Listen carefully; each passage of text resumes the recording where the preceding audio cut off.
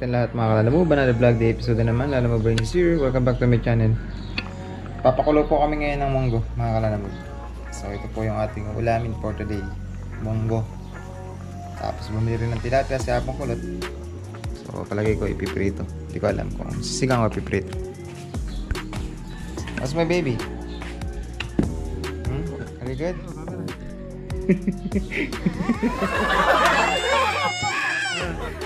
Na. Gagalit.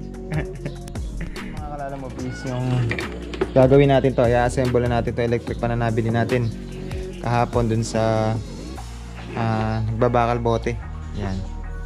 Sinabili natin siya ng halagang 100 piso. So ngayon, i-convert natin dito sa may stand na ito. So kung makikita po ninyo yung wirings niya. So yung wirings po niya is itatap po natin dito. Yan. Ito wirings na electric.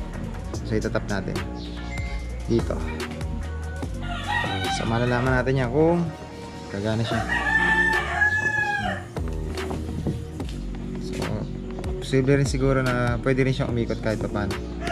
Kaya lang wag bubuhatin kasi pag binuhat mahuhulog ang ulo.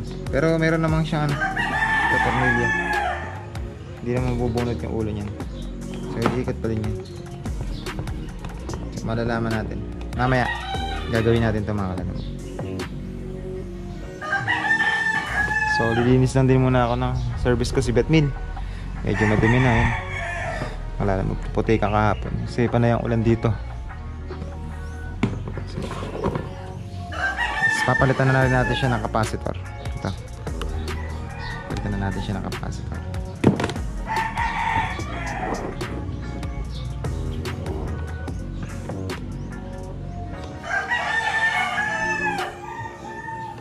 Aling maliit, aling maliit. How's my aling maliit? Hmm? aling maliit talaga. Si aling maliit na dalangin ko. Si aling, aling, aling, aling, aling, aling maliit. How's my aling maliit? Hmm? Baby, say hi to my vlog. Say hi to Kalala Move. What are you doing? Hmm? What are you doing?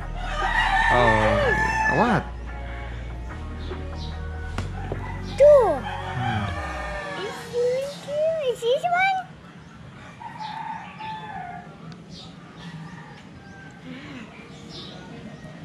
What do you think you're doing? Hmm?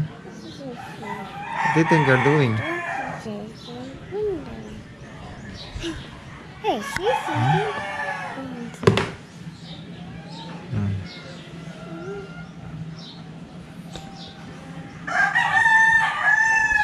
Do you think you're doing? Huh?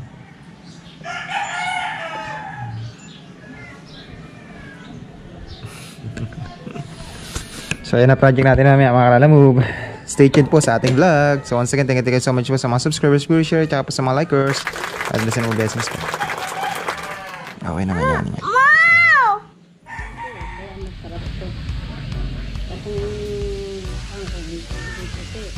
O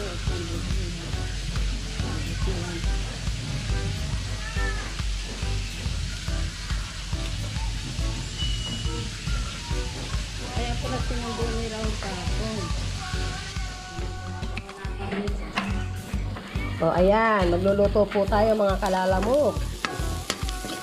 Sibuyas muna at saka bawang. Susunogin natin ng konti para masarap.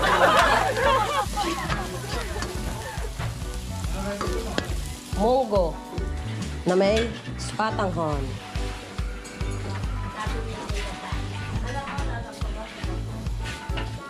Yan po, lalagyan natin ng kamatis. Ang kamatis po ay maganda po sa katawan ng tao.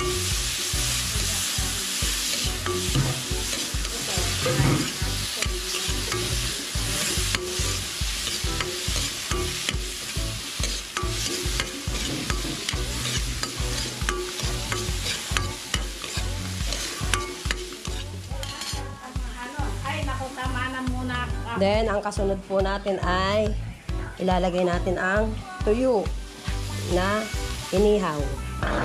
Pampalasa po sa munggo.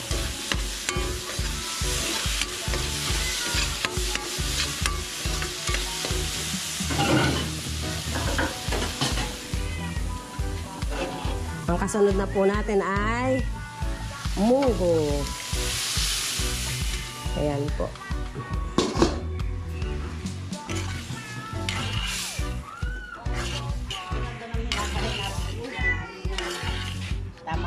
Na yan. Apong pahingi nga po ng konti tubig, lalagyan ko po ng suwatang ho nito eh.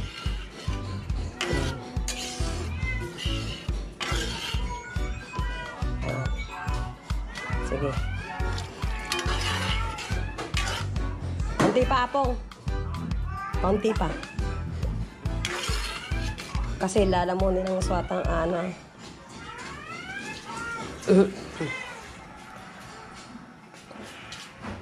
Ayan.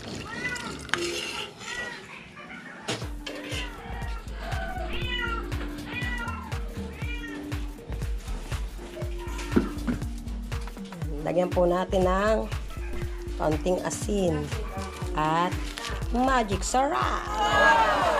Dahil sa magic sarap. Yan.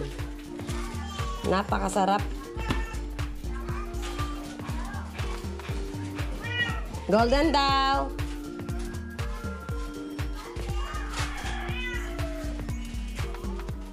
O, ayan o. Kumukulo na po kalala mo bang ating masarap na munggo. Kaya,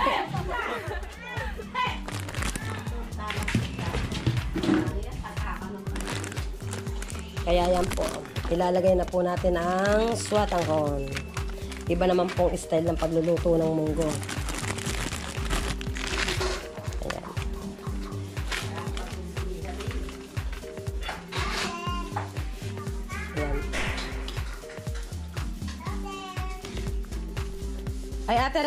Ka na sa baba. Hintayin lang po natin siyang... Ay. Ayan.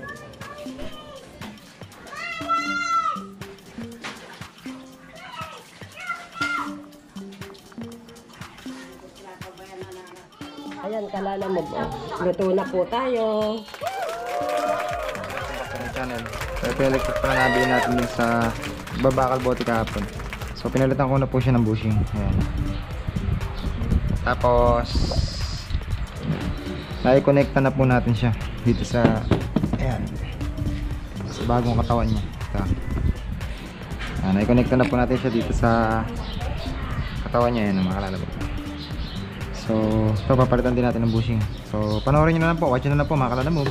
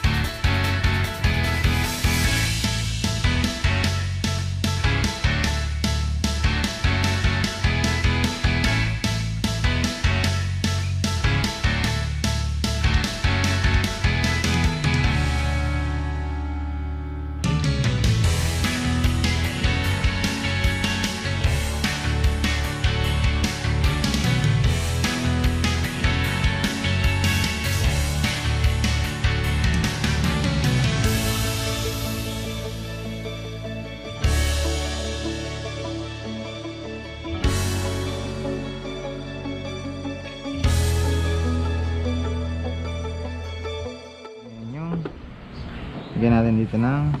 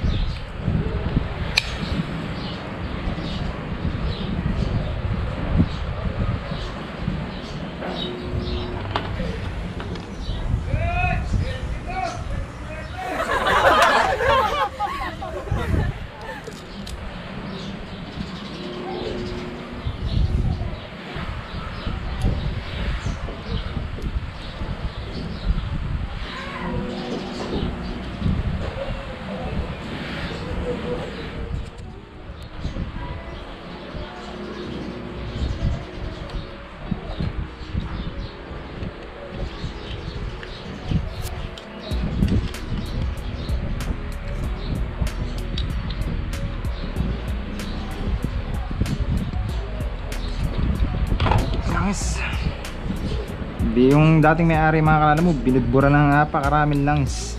Hindi alam yung mga busin ng tama. So, matibay yung makina po nito.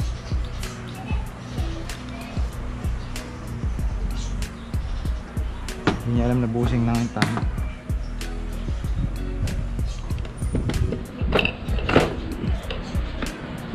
Gumuugong electric pan ninyo mga kalala mo, busing lang po yung tama. gumuugong tapos pagka mahina po yung ikot capacitor. Umuugong busing. So ipitan na po natin yung kanyang mga ano, tornilyo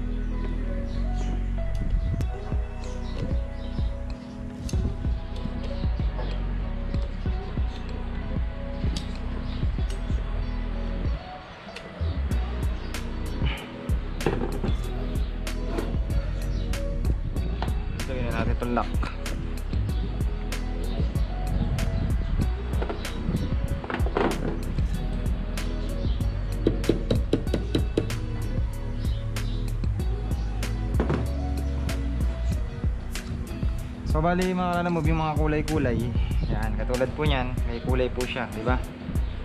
So Ito yung kulay na to Kulay black na to. Ito yung pinaka ah, Positive niya. Ayan o Pakita ko sa inyo mga pa. So testerin natin dito. Ayan o Testerin natin. Yung tester ha? Papalo dito yan. Ganyan natin. Tignan nyo mga ba? Yan, papalo. So, pag hindi po siya pumalong ganito, so ibig sabihin ito yung 1, 2, and 3 niya. Ito. Side na to.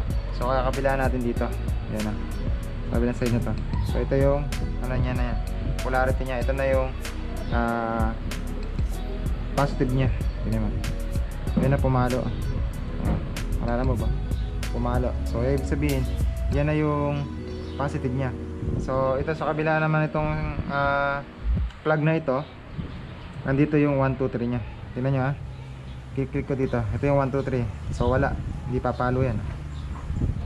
Kaya ito nilagay natin yan, hindi papalo. Kasi hindi pa siya nakaswitch. Susunod lang yan. Kaya pumalo. 2. Oh, pumalo. 3 pumalo pa din yung tester so 3 yan. Kahit saan mo ilagay yan hindi ano yan okay na. So ibig sabihin okay siya. Hmm. kasi nga ah naka ano na siya active po siya. So ganun lang mga kalala mo. So yung mga kulay kulay madali lang na may kulay kulay so pag nakita nyo na po yung kanyang positive so alam nyo na po agad. Basta itim po yon dito sa electric fan sa makina itim ngayon, sa mga kulay-kulay naman, kung magkakaiba ang kulay, kung may pula, lagay nyo sa pula ito. Yan na, pula. So, ngayon, pa puti, sa medyo brown, medyo light color. Tapos ang blue, dilaw. So, makikita nyo naman po dun eh. Gamitan nyo po ng tester. So yan na po mga kalalamog. Ngayon testingin natin kung kanina kasi nung ah inan ako, ah, pinandar ko, umuugong. Pinalitan ko na rin po siya ng capacitor ayan ah. Bago na po yung capacitor niya mga kalalamog. Kita niya. Ayan na. LC niya mga kalala mo bo, luma pa. Puro sali ko ba?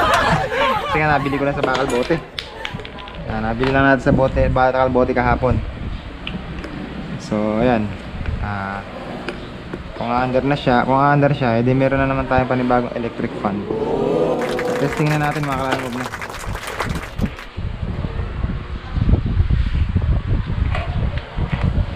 Malakas sa ikot niya kung okay na siya so one. Naman yan mga kalanay ito niya. One. Two. Asa three. Ah. so ayan makalala mo may bago na naman tayong electric fan. So, susunod ulit, pagpunta rito ng ano, ah, nagbabakal bote, bibili ulit tayo sa kanya ng electric fan. Para marami tayong electric fan dito sa bahay. Para pagka nagkabisita tayo, na emergency, then meron silang gagamiting electric fan. So, sa kagalagang isang daan piso, meron ka ng electric fan. Di ba, makalala mo, guys, yan. Yan, ha. Ha? One. Two. Three. Busing lang yung pinalitan ko niya mga kalalam. Magkano lang naman ang busing? 20. Ah, 20? 10? 10 yata? 10 lang. 10 lang ang busing. Ah, bago ka na electric fan. Di ba? Babalik ko na yung kanyang mga peripherals. Yan. Babalik ko na po sa dati yung kanyang gamit. Or pagkakaayos niya. So ang gagawin natin is luglugan natin to para secure wala siyang ground. I-hot glue natin, hot glue.